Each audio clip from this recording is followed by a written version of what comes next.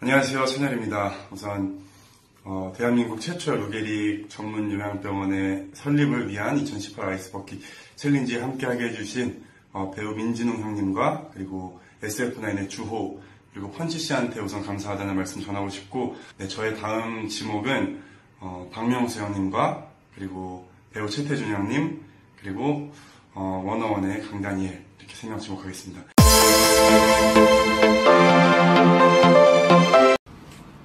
안녕하세요. 워너원의 강다니엘입니다.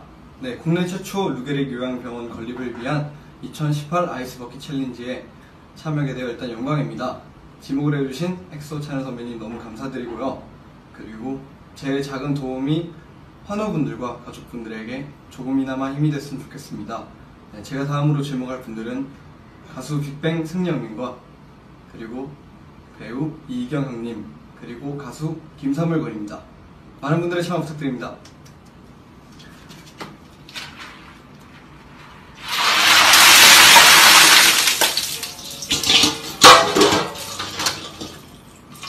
감사합니다.